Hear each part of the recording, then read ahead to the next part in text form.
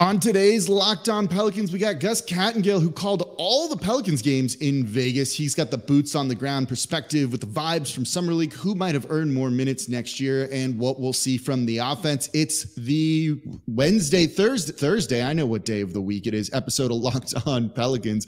Let's go.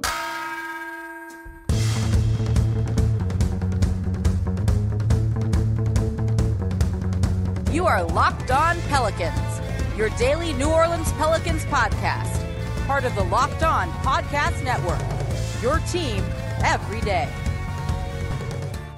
Welcome to another edition of Locked On Pelicans, the daily podcast covering your favorite team, the New Orleans Pelicans at NBA, part of the Locked On Podcast Network, your team every day, available wherever you get your podcast and available on YouTube. I'm your host, Pelicans Insider, credential member of the media, Jake Madison, at NOLA Jake on Twitter.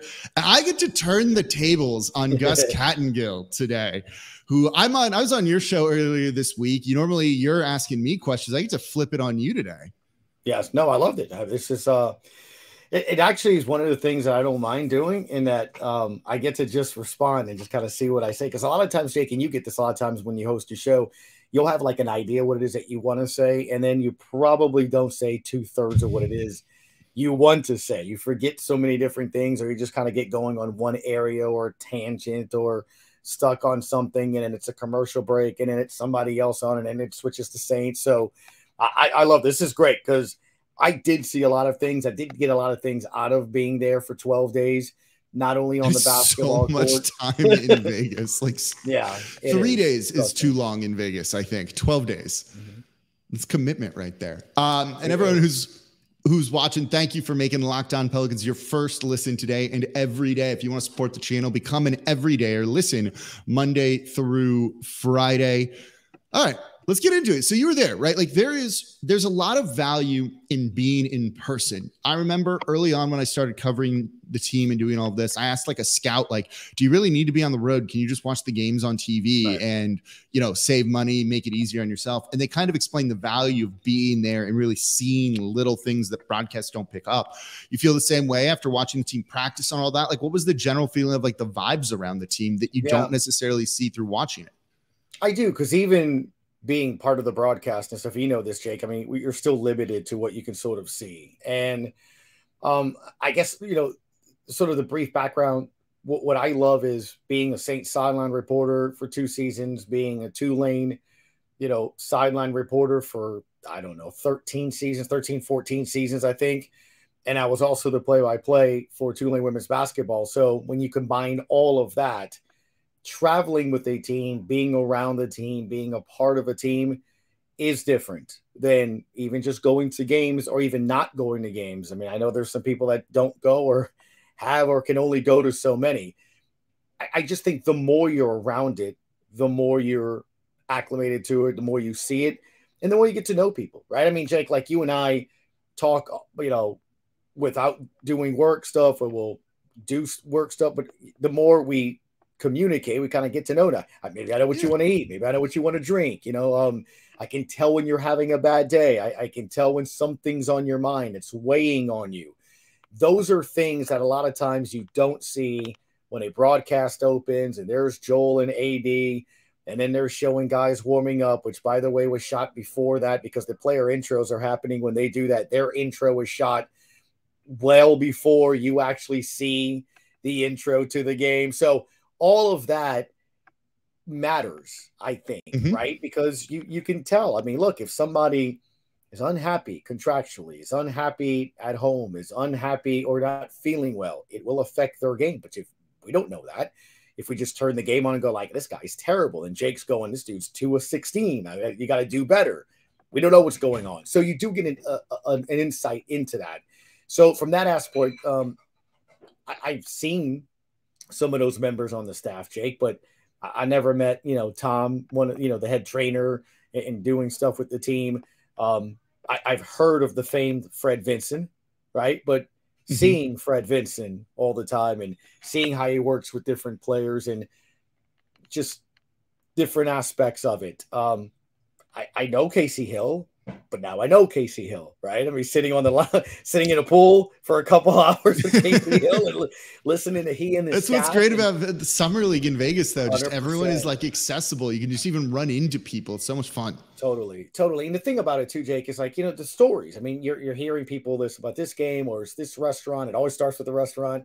Uh, you know, and it's always like, oh, that, that was after we got drubbed by the Knicks for 31, and you know, oh, Willie didn't want it. So it's just you, you get an idea of, of their personalities. And, and, I think that's the one thing I took away. I even I think brought it up when you came on our show.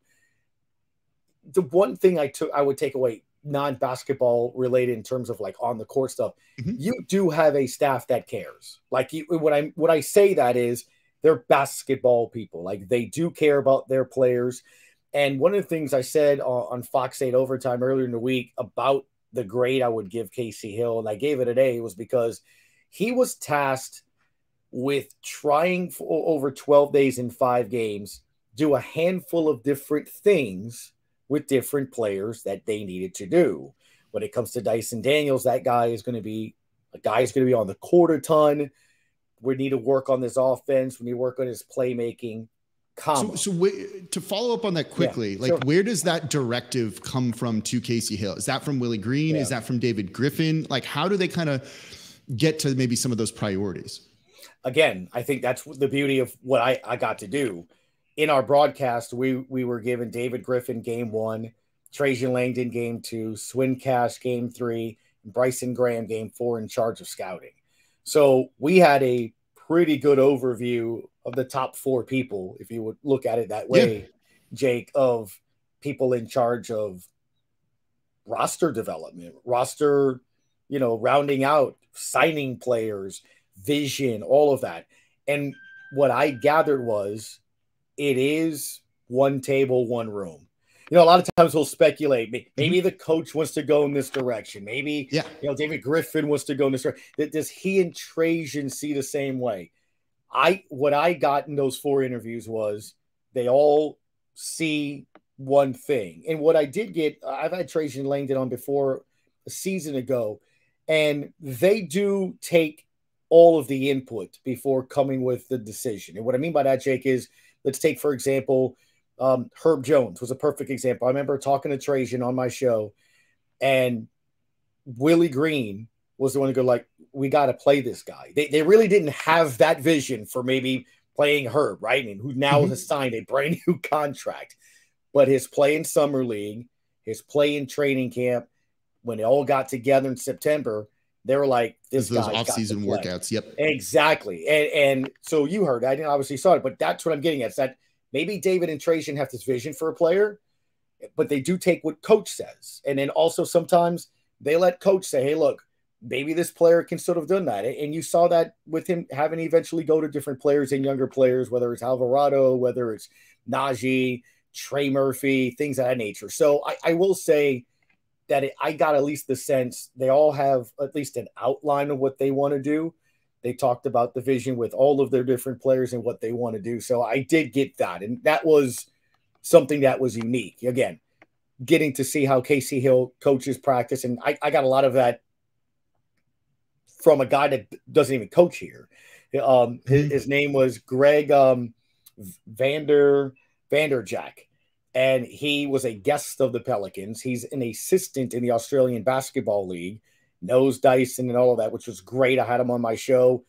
It's the number one sport in Australia right now. Yeah, their, their league's big down there. Yeah. I get like a ton of listeners from there and everything. 100%. So it was so cool to hear, like, you know, he's talking about there's a sophomore in high school on his team, and, you know, they're not going to college, but thinking of the NBA and all those different aspects. The whole reason I'm bringing him up, though, Jake, is he specifically said certain things on how they coach practice tough, hard, defense minded. He just kept using the phrase coaching it the right way, learning basketball the right way, doing those things. So, what I got out of those 12 days was they coached that summer league session to prepare you for coming up in September, coming up in October. They, they, they did drills that I asked Coach Casey about that was really cool, where they would just go silent.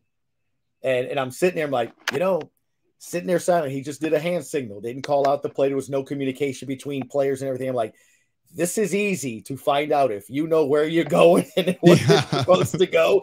And sure enough, at the end of practice, I asked Coach Hill, I'm like, so when you guys went silent like that, he goes, it's to make sure that they know where they're supposed to be, the ball movement, because it the ball didn't touch a hand for longer than a second, Jake.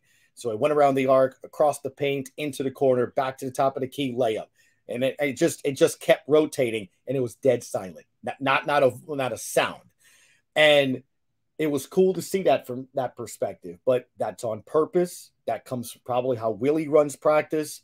That's that attention to detail that you hear from Willie, the point five where the ball moves yep. around quickly, but it's also knowing where you're going. You hear that the coaching staff harp on it so much. You have to know where you are on the floor. So those guys that may see action this year, those guys that may see a ton of action in Birmingham to develop their game they're all being coached the same way. And that's why I think they can sort of transition and help the big program, if that makes any sense to you. So, again, that's stuff you see at practice. Yeah, that was that was something that David Griffin talked about in the beginning of he, you know, when you say it's kind of all like one mind, one table, right? I think the analogy he uses, they're all in the same bus and the bus is going. I think I've heard him say that and there's got to be alignment there, right? They want the offense in Birmingham being the same offense that the Pelicans yep. use, so that if you do call a guy up, they're ready to go. If you do want to make some changes with your coaching staff, you can, you know, bring guys up. Ryan Pannone, who's no longer here, was one of those. He was the Birmingham head coach, then he came to the NBA level. And it adds, I think, that degree of continuity to all of that, which in a small market or just a team trying to be competitive in general, I think is super important. So let's let's talk about some of the players though. Let's talk about For Hawkins. Sure uh, Daniels, Liddell, Seabron. That's all going to be coming up here next in today's episode of Locked On Pelicans. Before we get to that, though, today's episode of Locked On Pelicans is brought to you by FanDuel Sportsbook. Take your first swing at betting MLB on FanDuel and get 10 times your first bet amount in bonus bets up to $200. FanDuel is America's number one sportsbook. And just bet 20 bucks and you'll land $200 in bonus bets, win or lose. That's 200 you can spend betting everything from the money line to the over under to who you think is going to hit the first home run. Probably Ohtani is who I would be betting on there. All on an app that's safe secure, and super easy to use. And plus, when you get win, you get paid instantly. And there's no better place to bet on MLB than FanDuel, America's number one sports book. So sign up today and visit fanduel.com slash locked on to get up to $200 in bonus bets. That's fanduel.com slash locked on. FanDuel, official partner of Major League Baseball. And thank you for making Locked On Pelicans your first listen today and every day. We're here Monday through Friday, the number one Pelicans podcast. No one else coming to you like this. We have the live show. Don't forget every Thursday at 7 p.m. on there. You want to ask me questions in real time or just maybe complain about something. We get people like that too, or people excited about something else. We get all of that. So make sure you join live 7 p.m. Central. And today we've got Gus Kattengell of ESPN Radio, the Sports Hangover first time guest on the show. I don't bring guests on very often. I just don't have like time. I record at weird hours. Uh, so I'm glad you're able to make time for me today, and I get to turn it around and ask you questions here. So when I was on your show, we were talking about the players. You know, I, I can give you what I saw, and I, you know, I liked what I saw for the most part from a lot of these guys. But you were there, you were seeing them in practice. You had that great insight of how, like, kind of their their plan is catered to them, specifically made for them. You know, who impressed you the most on the summer league roster for the Pels? I kind of agree with you, man. I think Dereon Seabron is really the player that stood out to me from this aspect of it. Because again, I was kind of referencing with Casey Hill. He had to do different things with different players, right? So you have players trying to work back from injury and, and trying just to get to where their vision is. That was EJ Liddell. You have a first round draft pick. We want to make sure that he's comfortable and understands what he's doing with Jordan Hawkins. Dyson Daniels, we want to develop an offensive thing. But Dereon Seabron, it's interesting because he did do some damage, if you want to call it um, yeah, he was, in, he was the best player on the team, I think, very easily.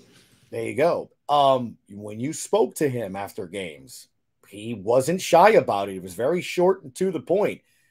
Eric Summers asked him, "What is your goal in summer league?" And he's like, "To show that I'm an NBA player." I, it's like right now I have a two way, but I want to be with the NBA team and show that I can contribute and do that.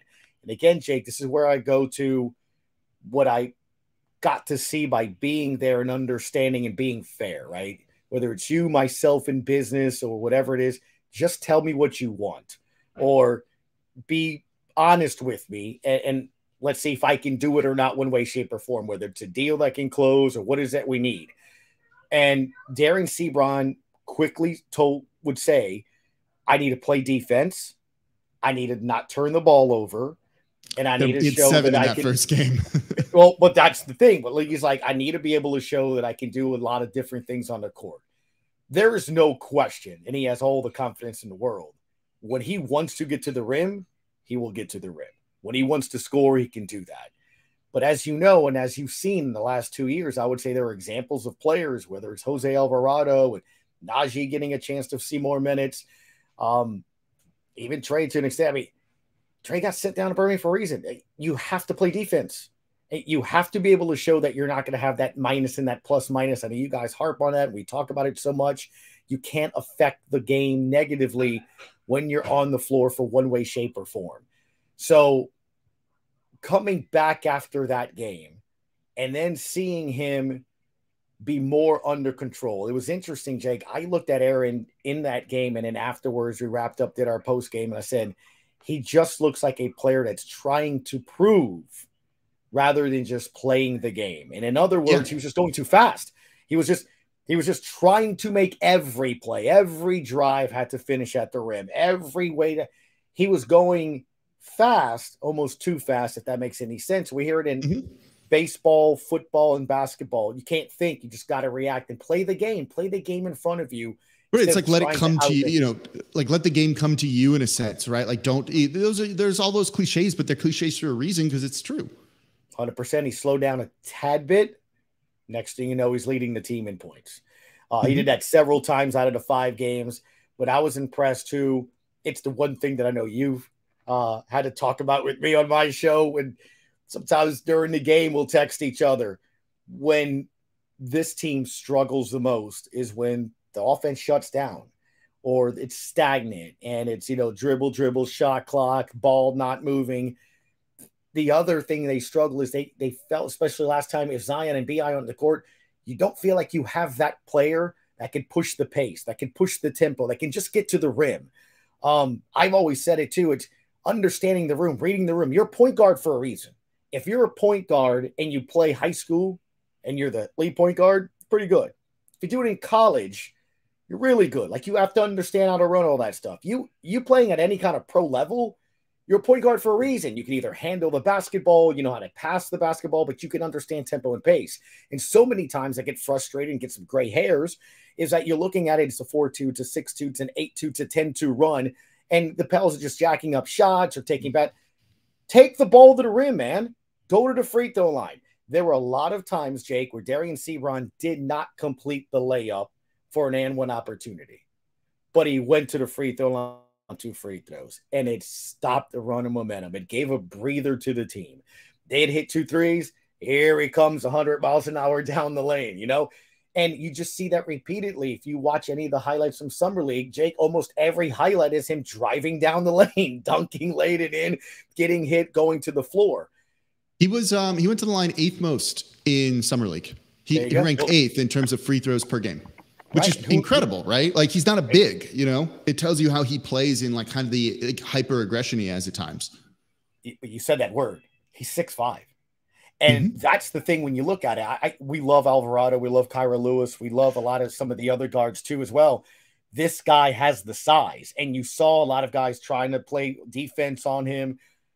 Him and Dyson Daniels in that backcourt, they they they both had size. They both could create on the defensive end, and you saw, you know, Dereon come up and, and shot block off of the glass. You would see him get his hands and create steals in the passing lane, and it, it can get tight, Jake on the corners, on the wings, on the left and the right wing. When you got a guy like Dyson, they went zone a couple of times.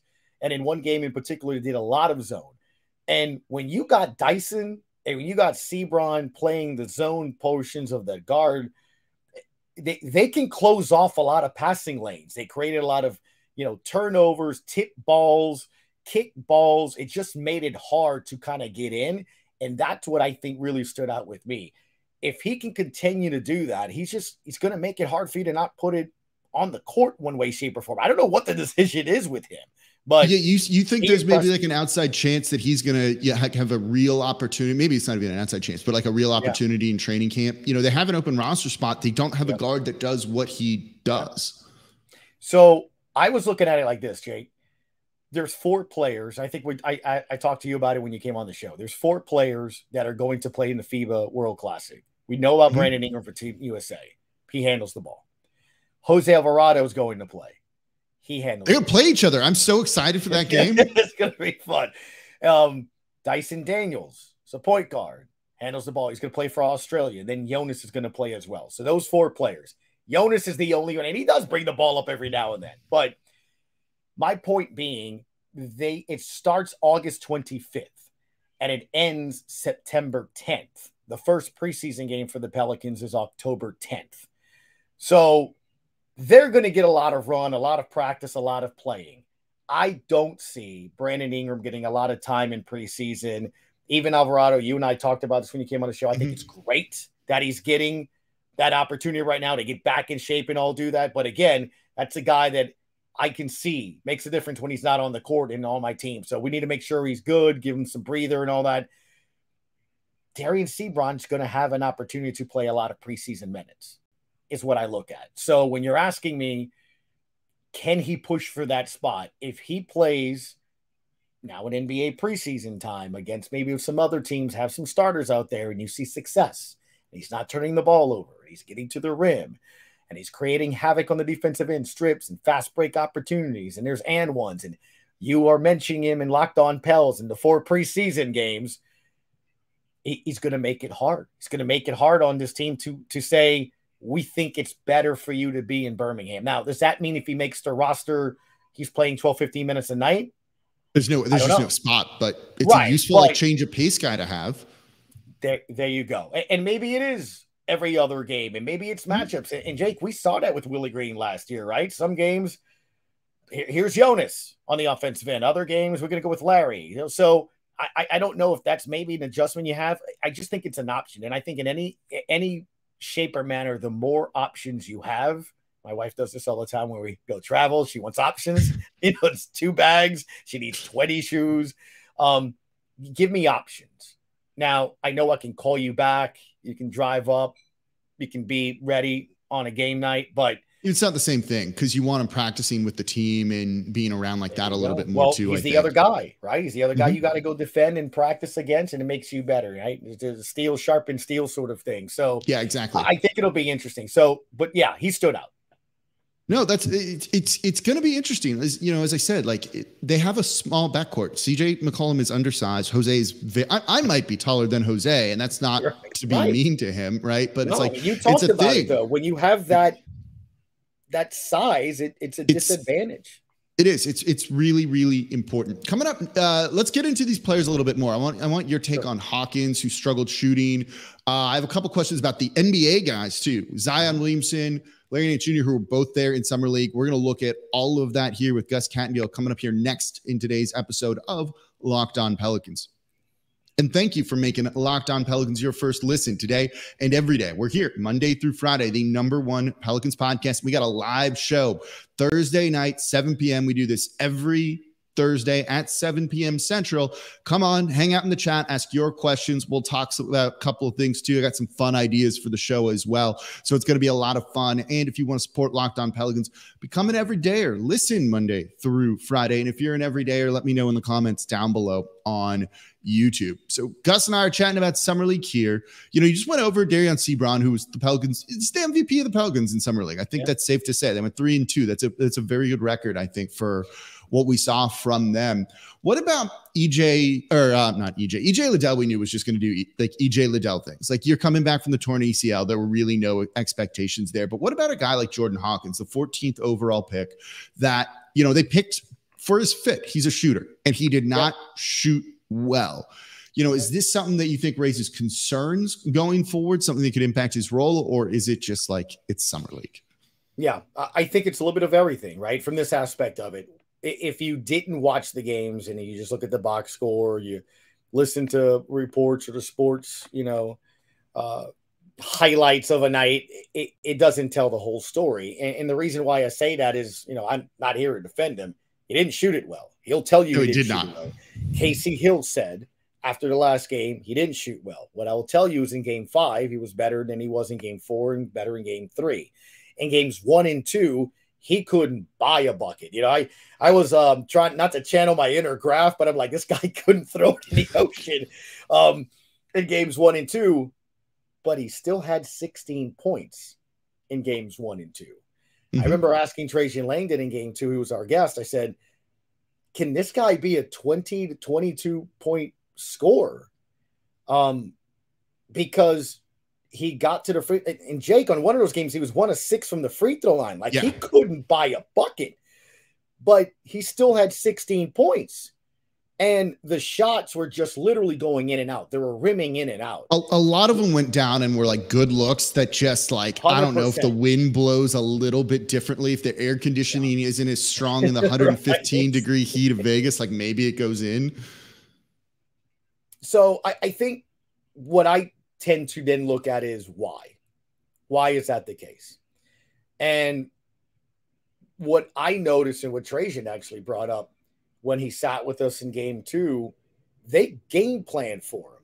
The Warriors did in game two.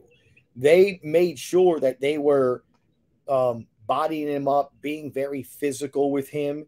And that's something that he wasn't used to. I mean, it's a different level. And, and look, there's a different level from the guys that are going to be playing come the season in summer league. You, you mentioned it yourself. I mean, Mhm. there's going to be a lot of those guys that are going to be playing professional basketball.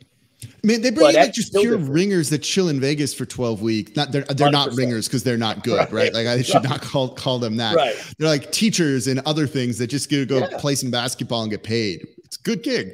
I, I saw Tyson Chandler there with the Mavs. So I mean, you know, but my point is like you you you look at it and and you there's an adjustment level. I mean, there's an adjustment level to it. Mhm. And but at the same time, I think you'd have to be blind if you don't see, oh, oh, okay, I see that. Oh, oh, oh, okay, well then there's that. And my job as a guy that's trying to call it and seeing it is try to give you a sense and, and be be honest. Yeah, he's not making the shots, but he's scoring. He's getting to the free throw line. What else is he doing on the court? And they don't win Sunday's game without what Dyson Daniels called a momentum turning drawing of a charge on that left Mhm. elbow. He draws the charge. They right after that knock down a three. Then he scores on a fast break opportunity, running down the left baseline. I think it was Dyson or might have been Dereon Seabron hits him with an alley oop where he catches it under the rim and lays it in reverse hand. He goes to the free throw line in that final minute and a half as well. Those are things that you're doing to help the team win. And in that final game, Jake, you saw it. He's hitting the ball off the backboard. And I think to me, the most impressive thing he did was he hit a three early, gets a defensive play, gets a shot block, and then the ball comes out to him. He's far side, taking it up the court. Jake, every person I know, me, the gym rat, the guy at the you know wh- whatever fitness there, he is jacking up that three, right? I mean, you you are Yeah. feeling good. Oh, I'm, You're I'm good. You say the heat check and everything there. Yeah. Oh, you're absolutely just knocked out a three. Just had a shot off the backboard. There's momentum. It's a fast break. It's going up. He passed left to Dyson, top of the key. One touch left pass to Landers Nolley the second, and he hits a left wing three. I I looked at Aaron and I said it in the broadcast. I said, that's the kind of stuff Willie Green is just smiling about right now Mhm. because he wasn't thinking about himself. And Jake, he's there for himself. Like that's the time to do it. That No one was going to be angry for him to jack 25 threes and make two. Shoot it. Find your rhythm, find your shot. Th- These are the minutes that are for you. You're here, not Trey, not any, do it. No one was going to get angry. But I love that confidence in him. He's fearless, man. He kept going to the rim. It didn't bother him. He would jaw back and forth with somebody. He got his tooth knocked out. I'm on Oh, IR was for so three weeks. Dude, I, I'm done. He went back in. Casey Hill's smiling. The rest of the team smiling. He's just doing this. He played. He finished the game out, and the Pels won it. I that's the kind of stuff, Jake, that I think goes a long way with your teammates. And let's just remember, as we go back to the initial thing you said, it's summer league. It's summer He's going to be playing with Bi. He's going to be playing on the court with Trey. He's going to be playing on the court with Zion. He's going to be on the court with CJ. He's going to be on the court with Larry Nance. You know, he's going to be on the court with Alvarado. Those guys are going to open up more space. Those guys are going to know how to get him the basketball and he can score in so many ways. He's not that guy that sits in the corner and raises his hand and waits for the ball.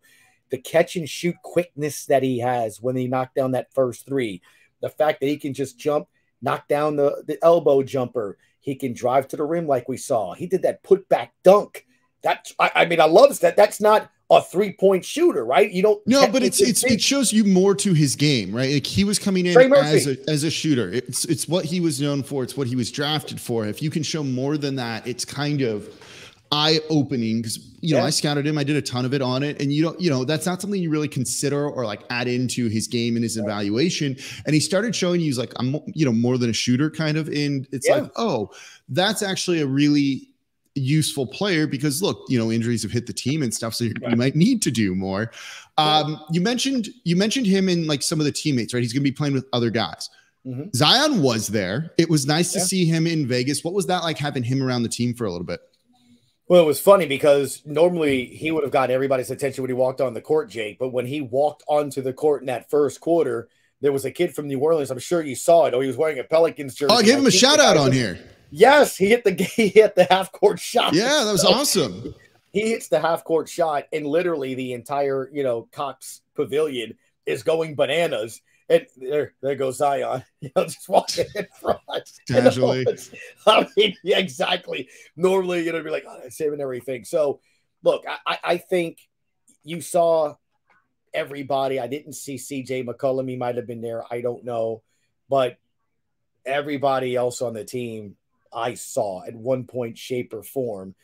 Um, it was interesting. Bi, you know, Bi's there to, to, to coach to look at. You could just see the scowl on his face when the Pels did play good defense in the first goal. I love that, and, and that's why when I spoke again with with Trajan and whether it's Swin or David, they're so happy and think it's really going to be good that you have all these players pay, playing FIBA and all that. But look, it, it goes to this Zion's appearance was a day or so after that, you know, Bucher report where he has no desire. And I saw you, you know, post your comments about that and be like, look, in all fairness, there's a lot of things that he brings on himself. There's a lot of things that are absolutely fair. There's, there's a, lot, a lot, of very valid criticism for Zion. 100%. Like, I said that on the there's no getting week. around this. I said it on that was not one week. of them. That was not one of them. Oh, well, you said it. I mean, even when he's not healthy enough to play, but he's getting his shots in, he was actually doing baseline jumpers and shooting threes. And so he was actually doing the things that Bucher says he's not, or a source is you telling literally can see it before every game. He shoots threes before right. every game. Right. Like I, just, we didn't get special access. You can see that through New Orleans at the yeah. King Center. Uh, trust me, you you need the insider source. I go to every home game. I can see him doing it every home game. I assume he does it on road games too. Like that was ridiculous. But you know, was he was he was he at any of the practices? Was he interacting with the teammates a lot? Was there anything like that? You know, or you know, we might not have seen that either too. Right. I, I think. um Look, I, I just happened to be in the pool area the day before we saw him in the game.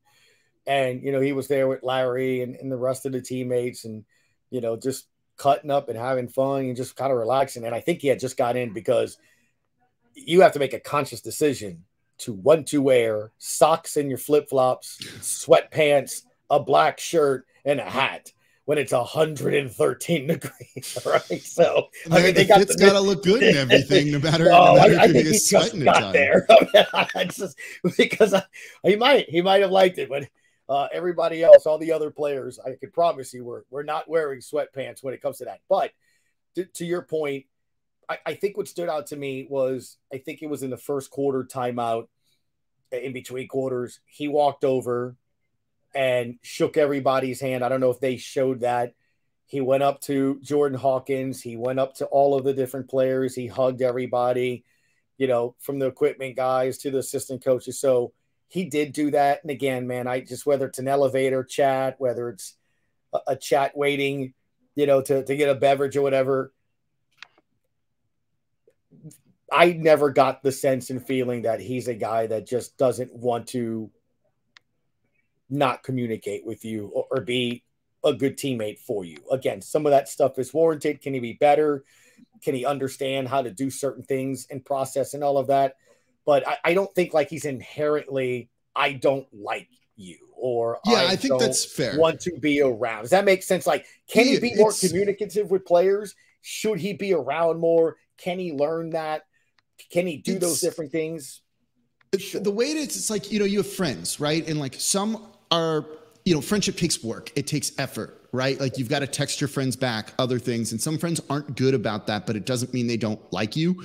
It just means they got to try a little bit harder to be your friend. Like I think that's yeah. kind of Zion, and I think that's one of the themes you've heard from this, the like whole off season, and maybe it's a little done to like help with PR and things like that, you know. But it sounds like for all the mistakes in the past, and there are a lot, and a lot of them are valid, you know, he's trying to fix those things and showing up to summer league and taking the time when he's not playing and he doesn't need to be there I think says something to go to the pool and hang out with these guys, to make the effort to walk across the court to go say hi to those guys. Because there was a period of time when he's been on this team, when he's been in Vegas and didn't do those things.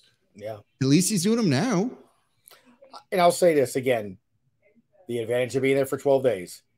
I, I can tell you, and again, I you and I we could have an entire locked on Pels on how to PR one on one and how to get your message better across as a basketball team.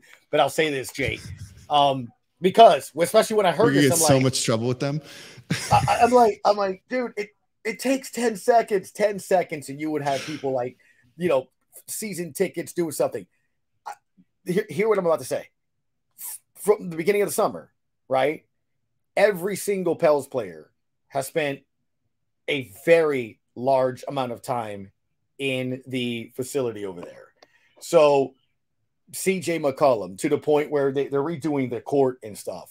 He's out of high school getting his work in here in New Orleans because they're, they're refurbishing the practice facility court and all of that. So while they're not doing everything at the facility right now because they're getting a new court, players are finding other places to go work out right now. Now, we don't gotcha. know that. You don't know that. I, I just happen to hear that. So I'm going to tell you that to make just so Pels fans know there's legit players here in New Orleans mm-hmm. have been working the entire time in doing that. So, and that includes Zion, that includes oh, yeah. Brandon Ingram. They, they already literally, I had a coach tell me that he's that he's that guy, you know, Trey and, and Herb.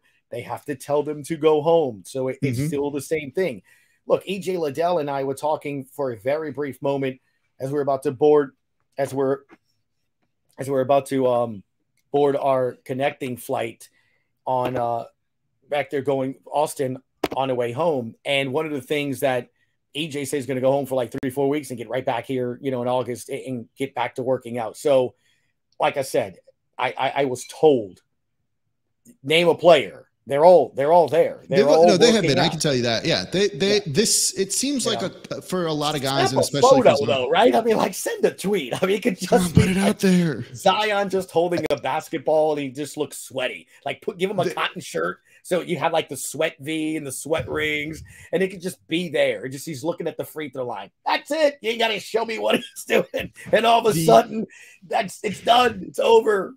The most shocking thing you just said was they're making a player take a connecting flight from Vegas to well, New Orleans look, instead of flying direct here. Well, everyone goes their separate ways. So yeah, like, no, I know, I know. That's not like the team being like, "We're going to be cheap." Yeah. You, you know, we're well, not going to pay. I tell you what, I, I felt better than the poor scouts that uh, Aaron was texting when we were in Austin. We had like 20 minutes to get from our plane to another. We were on the tarmac for an hour and when we get out, that's when we learned that the Vegas airport got shut down because it was too hot. Apparently, there's not enough lift on your airplanes when the heat, when the when the, the air is that hot. If you have a full plane and it's full of fuel and it's full of passengers, so I I'm like I, not not that I didn't believe. I, I, go on Twitter and sure enough, there's a passenger saying his flight. They were asking as many as 70 people to get off the plane, offering $500 vouchers for if not, you couldn't take off. So they had scouts on the tarmac for two hours. I can tell you when we were just sitting in that one hour, it was like an oven on that airplane, even though the air is, is blowing. And I'm just like, this is not this is not fun. So Look, I think everyone just wanted to get out by the time it was. It was 117, dude. The last two days we were there. It it's brutal. It's there's no humidity. It's still hot. If you can get in the find some shade, it's not too. An bad, oven's an oven, like Jake. An oven's yeah, an oven. Warm. There you go. Every and now we got like not astrophysicists, but like something else. Gus Kattengell, who understands lift and, and things like that on planes. He's also the host of the Sports Hangover on ESPN Radio. We got a little long here, Gus, but this was fun. Thanks for being on, man.